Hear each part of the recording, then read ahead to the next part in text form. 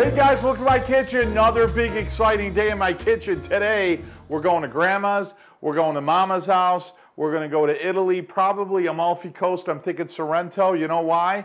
As you know from my uh, title here, we're gonna make Italian lemon ice or lemon Italian ice. I've seen it all different ways, but I know this, it's gonna have lemon, sugar, lots of love, and lots of deliciousness. And it's just the perfect treat in hot summer days. I've had it all throughout Italy, but I'm gonna bring you cooking Italian with Joe. You know what I'm saying? Hey, Italian lemon ice with all the secrets of old Italy. Mmm, I'm excited. You guys excited? Okay, come on, take a trip with me. Let's go over ingredients.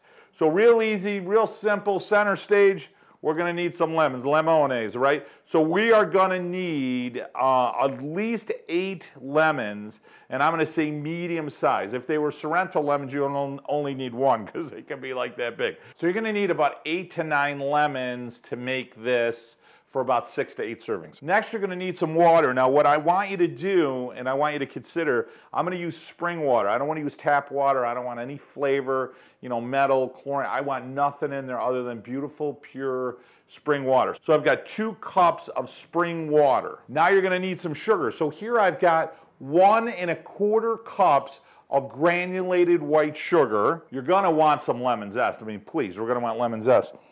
Oh, Oh God, I love the smell of lemons. Aren't they fantastic? So what I did here is about three lemons zested. So you're gonna end up with about two tablespoons, not teaspoons, two tablespoons of lemon zest. Next, we're gonna add a little something sweet, and this is a little secret from Nona. This is like old Italy stuff. So we're gonna add two tablespoons of honey.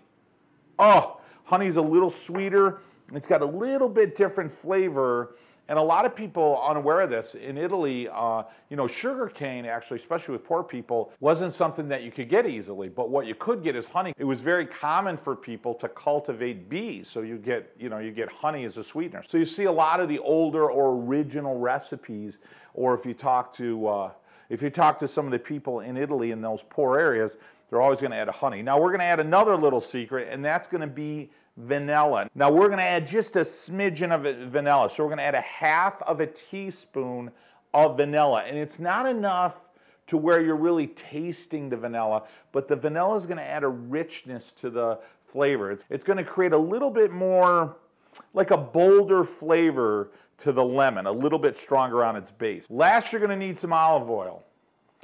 Actually, no, you're not going to need olive oil in this recipe. But if you were to add olive oil to this recipe, you're going to want something phenomenal. I'm going to want extra virgin. I'm going to want Italian only. I want to want Pulian because Pulian olives make the best olive oil. I know I'm a little biased on that. Hmm, grassy, earthy, peppery, where would I go? Oh, I know, Vito and Joe's. Hey, for anybody new to our channel, we own a farm in Italy. We co-op with a whole group of farms in Italy, in Puglia, to bring you some of the best olive oil you're ever gonna taste.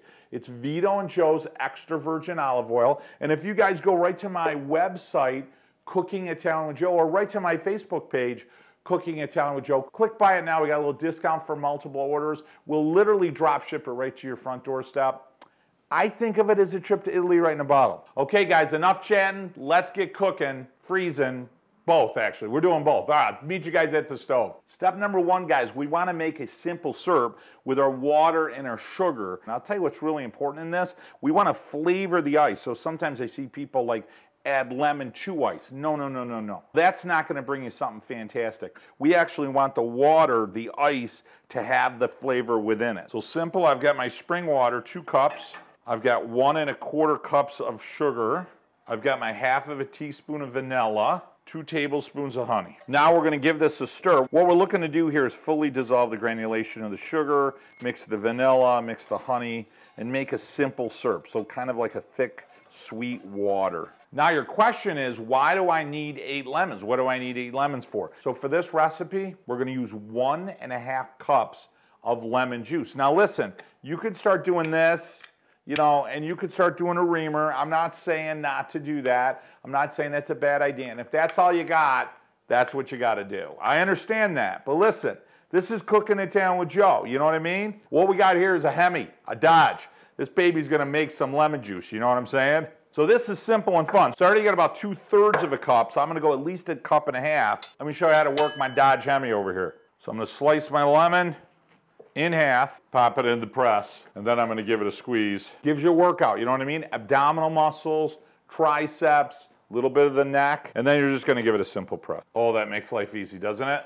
I mean, there's nothing left. There's nothing left inside of it. Guys, am I looking pumped from that great workout? Okay, my sugar water or my simple syrup is done. So a couple of tips on this. Number one, I wanna cool it down a little bit. So shut the heat off, take it off the heat before we add the lemon juice or our zest. A couple other tips that make this come out great. Subscription to Cooking Italian with Joe YouTube channel. You with me? So guys, when you click that red button, hey, it's Father's Day, come on. Help a dad out, will you? When you click it, hey, any new recipes, any new trips, any new blogging with Boreal, comes right to your notification box. And I'll tell you what, it means a lot to me when you subscribe to the channel. Hey, it makes you part of the family. You know what I'm saying? Hey, listen, on the olive oil. You probably already ordered it, but if you didn't, just click the link. It's coming right to your house. I can actually feel it being shipped to your house as we speak. Guys, so first I'm going to add my lemon juice, one and a half cups, and I'm going to do that because that's going to cool down my syrup immediately. Now I'm going to take my lemon zest. I'm going to put it right in there. Now I'm going to give everything a stir. So I'm going to let this set for probably five to 10 minutes just to bring down the temperature, let it start to cool. Guys, my lemon juice is ready to go. I've got myself a pan and I've got a nice big area that's flat and secure in my freezer, all right? And then what I'm gonna do is just gently pour this right inside the pan. Guys, let's talk aroma. Oh, oh, oh, that's gonna be good. Now comes the easiest, most difficult part. It's called anticipation and frustration. So what you basically have to do now is you got to put this in the freezer. It's going to be at least three hours, maybe four hours, and you're going to use a fork. Now I see some people use an ice cream maker. I'm not telling you not to do that. Here's my advice. This isn't a sorbet. It's granulated. It's got larger crystals of the sugar. That's the way it's traditionally served and, and that's the way it's traditionally made. So you're going to use a fork and every hour once it starts to get kind of slushy, you're going to stir it up and break up any of the large crystallizations, any of the large frozen sections. And that's the tough part because every hour you're going to be like, is it done yet? Is it done yet? In this case, the crystal itself is got the flavor. So every part that melts in your mouth just releases more and more of the flavor. And that's what makes this recipe so delicious. Guys, time for the freezer. So guys, has been in there about an hour, maybe an hour and a half. You see how it's starting to freeze? So what you're gonna do is you're gonna use your fork. We're looking for a granulation, a little bit like granulated snow. You're trying to get rid of any large clusters of ice. And that's perfect. Now I'm gonna put this back in the freezer for another hour. Guys, it's been about four hours. Mm, I'm telling you, it's looking good. So what I did is I pulled it out every hour, just mixed it up a little bit with that fork, made sure there weren't any big clumps. There's some granita for you. So let me show you what this looks like. So it's a perfect granulation, and that's really what granita means. It means granules, granulated. So I'm gonna grab the hardest part, then throw it back in the freezer. And guys, a nice finish is a little mint. So I'm just gonna put maybe one or two leaves in there. A perfect finish is a little mint leaf. There you go. How beautiful is that? Okay guys, my favorite part, here we go. One of the best ideas is put it in a glass because as it melts, especially on a hot summer day, today is really hot, you can actually, you know, you can drink it, right? Little trick on this for the adults, you can put a little limoncello in there, you know what I mean?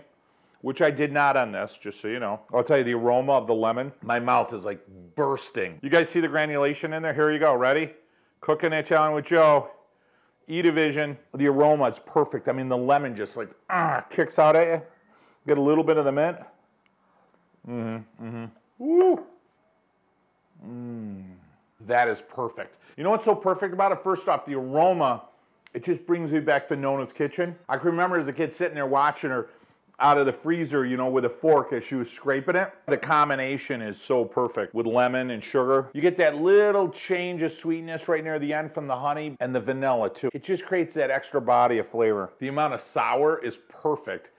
And then just when you think like, man, that's sour, the sugar comes right in on the back end. I gotta tell you guys, that Italian lemon ice right there, molto buono, you know what I'm saying? Absolutely delicious. Another fun day, Father's Day here in my kitchen. Guys, thanks for joining me for a fun-filled day, making a special treat for your family. Remember, hit that red subscribe button. Hey, make you part of the family. Remember to hit our website or our Facebook page, Cooking Italian with Joe. Grab yourself a bottle of Vito and Joe's olive oil. We'll drop ship it right to your house. A trip to Italy right in a bottle, no doubt. And guys, in closing, my last tip, but certainly my most important tip, you know, every week, every couple times a month, get around the table with your family and celebrate your heritage. And most important, a recipe like this, set some traditions. They're gonna last you a lifetime. I know they did for me. Hey guys, from my kitchen to yours, until next week, mwah, bon appetito.